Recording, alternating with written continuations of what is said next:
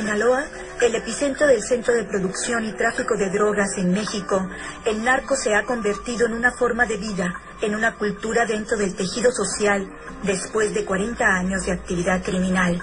Este es el feudo de Joaquín Guzmán Loera, el Chapo Guzmán, líder del cártel de Sinaloa, el hombre más buscado de México cuya fortuna supera los mil millones de dólares. Desde que se fugó en 2001 del penal de máxima seguridad de Puente Grande, durante el gobierno de Vicente Fox, ha aumentado el misticismo del capo del sexenio, como se le conoce ya por la presunta protección del gobierno actual. Estos son sus fueros, la Sierra de Sinaloa, el gran territorio donde se produce la mejor marihuana del mundo y la amapola de la que se extrae el opio para elaborar la heroína. Cada año el ejército destruye decenas de plantaciones que se reproducen rápidamente y otorgan beneficios de hasta 40 mil millones de dólares a los grandes capos. Visitar la Sierra de Sinaloa no es fácil. Actualmente es tierra de nadie a pesar de la presencia militar. No hay que olvidar que existen 15 millones de armas en manos del narco y a pesar de eso, en esta parte del llamado Triángulo Dorado, lugar donde supuestamente se esconde el Chapo Guzmán, la vida transcurre con aparente placidez. La gente no quiere hablar de la fama del pueblo. El lema cotidiano es ver, oír y callar. Hace unos días una mujer fue asesinada dentro de su casa. La ambulancia que la trasladaba a Culiacán fue interceptada para ser rematada por los matones a plena luz del día. Estamos en Badiraguato, cuna de narcotraficantes. Además del Chapo Guzmán, aquí nacieron los hermanos Beltrán Leiva, Rafael Caro Quintero, Ernesto Fonseca Doneto y Juan José Esparragosa Moreno el Azul, entre otros ilustres traficantes de droga. Aquí los narcos son considerados también filántropos, gente sensible a las necesidades de los habitantes del pueblo. Por eso el profesor José Macario Sobampo García, director de Desarrollo Social del Ayuntamiento de Badiraguato, está empeñado en rescatar la sierra para promover entre los campesinos el cultivo de cítricos en lugar de marihuana y amapola. Tenemos aquí áreas muy hermosas como el caso concreto, excelentes condiciones para el turismo. Tenemos acá la mesa de San Miguel donde es de las pocas lugares de donde pueden encontrar áreas nevadas. Sin embargo, la gente no nos visita porque tiene miedo, porque dice, no, Badiraguato es tierra muy violenta y en realidad no lo es.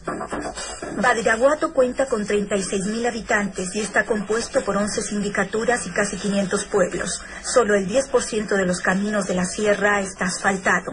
El pavimento termina en Tamiapa. El resto hay que hacerlo en avioneta, helicóptero, camionetas 4x4 o sencillamente subir en burro. Aquí los campesinos son secuestrados por los capos para obligarlos a trabajar. en la ley de la selva y los fueros del Chapo Guzmán.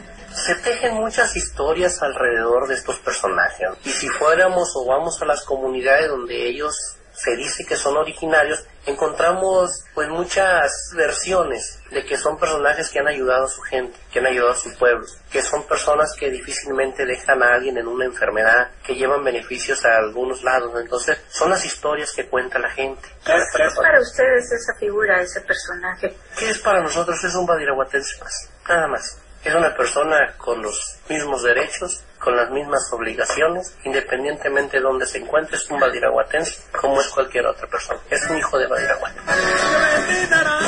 allá por mi infancia, que ahora mis empresas dejan ganancias, yo vengo de abajo, y ahora estoy arriba, que quiera tu parte, cuesta la vida. La historia del Chapo inicia en La Tuna, para llegar hasta ahí hacen falta ocho horas de camino de terracería. El Chapo nació pobre, aunque ahora su nombre está incluido en la lista de multimillonarios de la revista Forbes y se ha considerado una de las 100 personas más influyentes del mundo, según el semanario Time. La Tuna es una pequeña comunidad donde la Casa del Chapo destaca no por ostentación de riqueza, sino por la fama adquirida por el fugitivo número uno de México. En esta zona viven algunos de sus familiares, incluida la madre, una mujer muy católica que pasa temporadas en el lugar, según Valerio García Rocha, asesor de políticas públicas del Ayuntamiento de Badiraguato, quien dice que es fácil identificar esa casa vía satélite a través del sistema de Google Earth. ¿Cuál es la zona donde nació el Chapo? Creo que nació donde vive su mamá, que es la casa más alta que es esta que está aquí. Lo interesante de esto, ¿cómo se explica? Yo siempre me he preguntado eso, o sea, ¿cómo poder explicar que un pueblo donde fueron nacidos los grandes capos es el único municipio de Sinaloa considerado en alta marginación. Esa es la riqueza que nos ha dejado esto a Guairaguato. Convertido en mito, el Chapo Guzmán no solo es el narcotraficante más buscado del mundo, es también el hombre invisible que todo mundo sabe dónde vive, menos la autoridad, según dice el obispo Héctor González, quien declaró públicamente que el narcotraficante radica en Guanasaví, Durango. Las distintas facetas del Chapo también están mitificadas. El Chapo filántropo, capaz de atender a los lugareños de la sierra para que le expliquen sus problemas y ayudarles económicamente. El Chapo empresario, capaz de construir el más grande laboratorio de producción de drogas sintéticas para producir cristal, ice, éxtasis y otras más dirigidas al mercado internacional. El Chapo hijo y padre, preocupado por los suyos. El Chapo esposo recién casado con la joven de 19 años de edad, Emma Coronel, una reina de concurso de belleza local. El Chapo enemigo, cruel y despiadado con los que le han traicionado.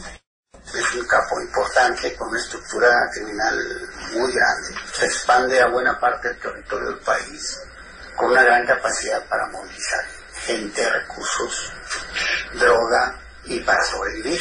Porque haber caído y luego 10 años haber fugado y después de 10 años ser uno de los narcos más importantes del país con un control no de él solo, pero sí en buena medida coaligado con gente o capos muy afines a él, con un control indiscutible, incluso reconocido por la del mercado norteamericano, prácticamente el 60-70% del mercado norteamericano de la cocaína, etc. Es importante, es algo importante.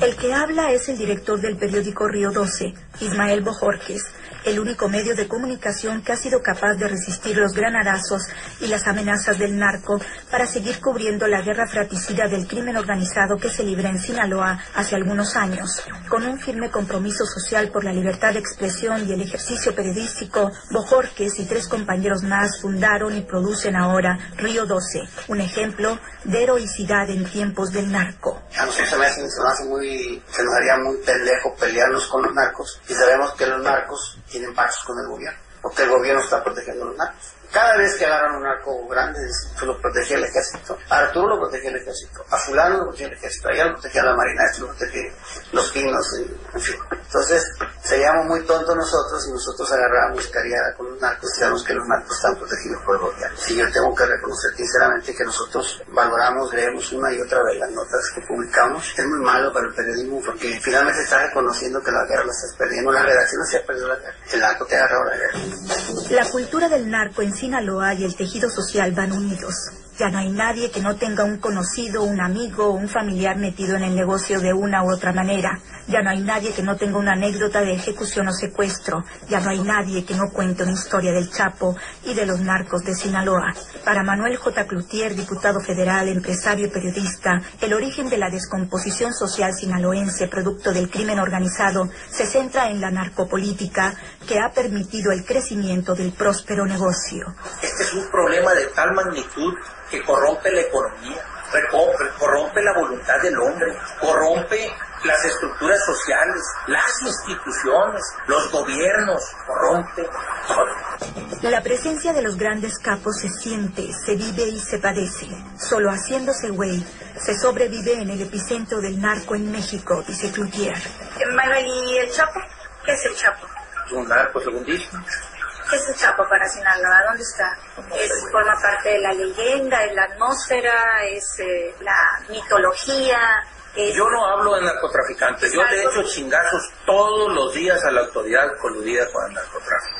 Yo a los narcotraficantes no les echo. El Mayo, el Chapo. Yo no les son, echo a los son los que dominan. Yo no les echo a los narcotraficantes. Yo les echo a la autoridad coludida con el narcotráfico. A esa les echo ¿Y por qué- todos los días. ¿Por qué a los narcotraficantes? no? Porque aquí vivimos. amigo. La parafernalia del narco está inmersa en Sinaloa. Los narcocorridos enaltecen a los grandes capos. La sociedad ha cedido la calle por miedo y precaución, y el crimen organizado ha penetrado incluso la actividad comercial y empresarial. Mientras tanto, el Chapo anda en moto, come y cena en restaurantes de Culiacán o se pasea por la calle. El gobierno estadounidense ofrece 5 millones de dólares y el mexicano 2 millones más. ¿Alguien lo ha visto?